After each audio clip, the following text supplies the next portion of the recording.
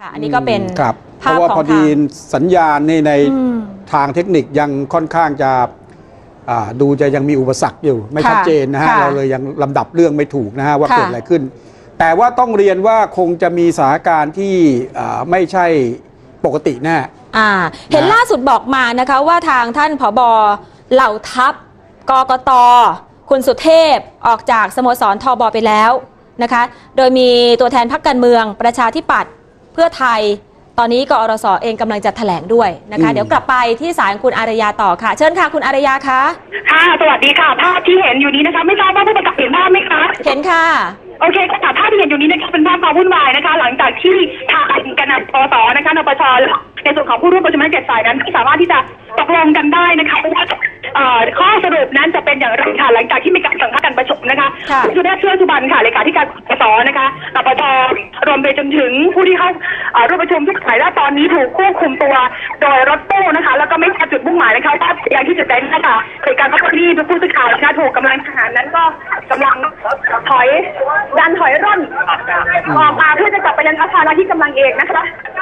การควบคุมตัวนี่คือทั้ง7ฝ่ายเลย หรือว่าเฉเจ็ดพาะฝ่ายเลผู้ยค่ะเจ็ดฝ่ายเลยเจ็ดฝ่ายแล้วเจ็ดฝ่ายเลยค่ะเจ็ดฝ่ายอ๋อทั้งติดแล้วค่ะทั้พี่งหมดติดแล้วเลยติดแล้วสักครู่นะคะค่ะ เดี๋ยวสักครู่นะคะกำลังเดินค่ะกำลังเดินได้ก็ตรงนะคะ ค่ะ ค่ะค่ะค่ะ ก็ยังไม่ทราบจุดมุ่งหมายนะคะ เพราะว่าที่เราเจอเมื่อสักครู่นี้เราเจอคุณเอ่อค่ะ เราเจอคุณเอ่อสุเทพคะนั่งอยู่บนรถตู้ของกองบัญชาการทหารนะคะค่ะที่กำลังก็กำลังไล่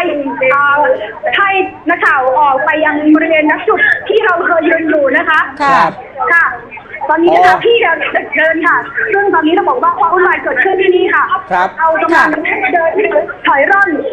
กลับไปในจุดเดิมนะคะอ๋อก็แล้วคืออาคารบริเวณนะที่ได้มาเองค่ะครับคุณถ้าเห็นภาพอยู่ตอนนี้เราถูกเอ่อน้องๆจะโดนชนโอ้ต้นฮะตะค่ะอ่าก็ก็มีความสับสนวุ่นวายเกิดขึ้นนะครับ คุณอารยาครับจะมีการแถลงข่าวไหมครับเ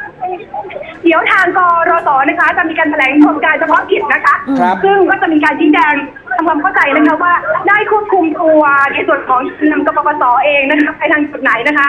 อ๋อรวมทั้งนปชนี่ควบคุมด้วยไหมครับ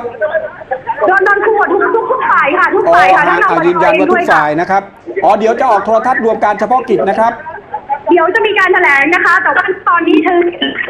อะไรอยู่ข้างนอกค่ะ ไม่ไม่ไม่สามารถที่จะมองเห็นได้นะคะอ่าครับ นี่เขาให้เราไปจุดไหนซ้ายหรือขวา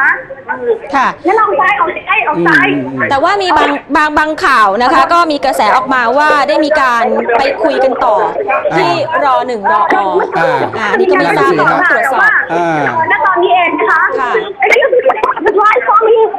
อ่าเปลี่ยนสถานที่พูดคุยค่ะเข้าไปอยู่ในค่ายทหารเลยแล้วฮะใช่โอ้ครับ น่าสนใจ เพราะว่ามีกระแสเล็ดแต่ลอดว่ามา เข้าใจว่าเหตุฉุกระหุกนี่เป็นเพราะว่าคงจะไม่ได้สื่อสารกับทางผู้สื่อข่าวนะพี่วางไลน์ไว้ให้ทำให้ผู้สื่อข่าวที่พยายามติดตามสถานการณ์ก็คงจะพยายามเข้าไป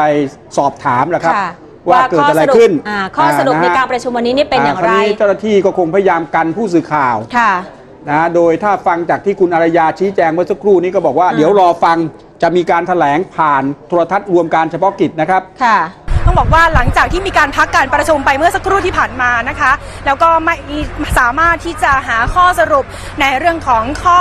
เสนอต่างๆ ได้นะคะ ทางผู้บัญชาการทหารบกค่ะก็ได้มีการสั่งพักการประชุมนะคะ แล้วหลังจากที่การสั่งพักการประชุมเสร็จสิ้นลงไปแล้วนะคะ ก็มีการเชิญตัวทั้งคุณสุเทพเทือกสุบรรณค่ะคุณจตุพรพรมพันธ์และรวมไปจนถึงแกนนำทั้งหมดทุกคนนะคะ ไปที่กรมทหารราบที่หนึ่งรักษาพระองค์ค่ะเพื่อที่จะเข้าไปบริเวณด้านในนะคะแล้วก็มีการพูดคุยกันต่อค่ะ แต่ว่าในส่วนนี้เองเรายังไม่ทราบนะคะว่านื้อหารายละเอียดที่เชิญตัวคุณสุเทพเทือกสุบรรณรวมไปจนถึงทางคุณจุพรพรมพันธ์และหัวหน้าพักประชาธิปัตย์หัวหน้าพักเพื่อไทยนั้น ไปในกรมทหารราบที่หนึ่งรักษาพระองค์นั้น ไปคุยในแง่ไหนค่ะ ซึ่งก็ทำให้ทันทีที่มีการควบคุมตัวทั้ง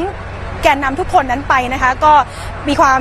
สับสนวุ่นวายแตกตื่นนักข่าวทั้งไทย แล้วก็ต่างชาติก็กรูกันเข้ามาที่บริเวณที่เห็นอยู่นี้นะคะ ซึ่งก็จะทำให้เห็นว่าก็เจ้าหน้าที่นั้นนะคะ ก็ออกมากันพื้นที่เพื่อที่จะให้เอ่อดำเนินการ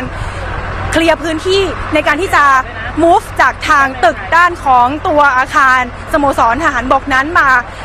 ไปยังที่อื่นนะคะ แล้วตอนนี้ก็จะเห็นว่านี่คือภาพบริอาบรรยากาศที่เกิดขึ้นอยู่ในขณะนี้นะคะ ก็จะเห็นว่ากำลังทหารนั้นก็กันพื้นที่เอาไว้ค่ะ เพื่อที่จะให้ผู้สื่อข่าวนั้นกลับไปยังอาคารอาทิตย์กำลังเอก ซึ่งเป็นจุดแถลงข่าว ส่วนของการแถลงข่าวในตอนนี้เองนะคะ ทางกอ รสก็จะมีการแถลงข่าวชี้แจงความชัดเจนอีกครั้งหนึ่งนะคะว่าความชัดเจนนั้นจะเป็นอย่างไรค่ะ ซึ่งก็ต้องคอยติดตามดูค่ะ ในส่วนของผลการประชุมในวันนี้นะคะ แน่นอนว่ายังคงไม่ได้ผล ข้อสรุปหรือว่าผลความชัดเจนใดๆทั้งสิ้นเกิดขึ้นในตอนนี้ค่ะ ซึ่งก่อนหน้านี้ต้องบอกว่าการประชุมเริ่มขึ้นเวลา 14 นาฬิกา สภาพบรรยากาศภายในห้องประชุมนั้นค่อนข้างตรึงเครียดนะคะ ในขณะเดียวกันค่ะทางผู้บัญชาการทหารบกเองก็กล่าวในที่ประชุมก่อนที่จะเริ่มต้นการประชุมด้วยนะคะว่าเอ่อน้องๆนักข่าวนะคค่ะรับ เดี๋ยวเราฟังความชัดเจนนะคะดี๋ยวเราจะมีการแถลงข่าวทางทีวีพูนะครับ มีโทรทัศน์อยู่ 3 เครื่องที่อาคารกำลังเอก ไปรอดูตรงนั้นจะได้ ข่าว อยู่ตรงนี้ก็จะได้ภาพเดิมๆนี้นะครับ เชิญครับขอบคุณมากจบข่าว เชิญครับเชิญ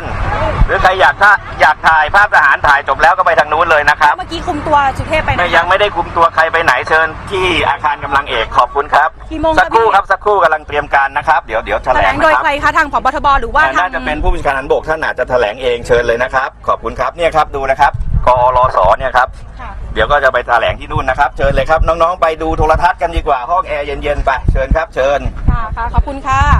เชิญค่ะเลยนะครับอย่างที่บอกนะคะว่าเมื่ออีกสักครู่นับจากนี้นะคะทาง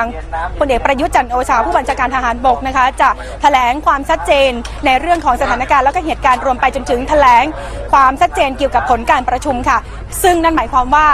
นับจากนี้ต้องจับตาดูนะคะว่าถ้อยแถลงของผู้บัญชาการทหารบก ในฐานะผู้อำนวยการศูนย์รักษาความสงบเรียบร้อยนั้นจะแถลงออกมาอย่างไรบ้างค่ะบรรยากาศที่เห็นอยู่ตอนนี้ก็ต้องเรียกว่าค่อนข้างที่จะตึงเครียดสักเล็กน้อยนะคะ แต่ละว่าหลังจากที่เราได้คำตอบที่ชัดเจนแล้วนะคะว่าเป็นอย่างไรก็ทำให้คลายความสงสัยกันไปได้บางส่วนค่ะภรรยาครับสรุปว่าที่เชิญไปที่ราบหนึ่งเนี่ยนะรอหนึ่งเนี่ยนะฮะทั้งหมด 4 ฝ่ายด้วยกันใช่ไหมครับ ทั้งกกตต่ออย่างนี้นะคะ ค่ะผู้เข้าร่วมประชุมทั้ง 7 ฝ่ายตอนนี้เปลี่ยนสถานที่นะคะ อืม จากอืมค่ะเปลี่ยนสถานที่นะคะอ๋อจากสโมสรทหารบกนะคะ ค่ะ ไปยังกองบัญชาการกร อยู่ที่กรมทหารราบที่หนึ่งรักษาพระองค์ค่ะ อ๋อซึ่งครับอยู่ติดกับบริเวณของสโมสรกองทัพบกที่อยู่ที่นี่นะคะอ๋อรวมถึงครับผู้บัญชาการทหารบกด้วยนะคะ ก็อ่า เดินทางไปพร้อม ๆ กัน ส่วนอาคารอันที่กำลังเอกนั้น เป็นอาคารศูนย์แถลงข่าว ที่ทางเจ้าหน้าที่ของเอ่อเลขานุการกองทัพบกนั้นนะคะ จัดไว้เพื่อเป็นสำหรับการแถลงข่าวในวันนี้ด้วยค่ะ ครับค่ะ อะ เอาละครับเดี๋ยวคงจะได้ติดตามตอนช่วงที่มีการแถลงอย่างเป็นทางการนะครับ คุณอารยาครับ ต้องขอบพระคุณมากนะครับ ค่ะ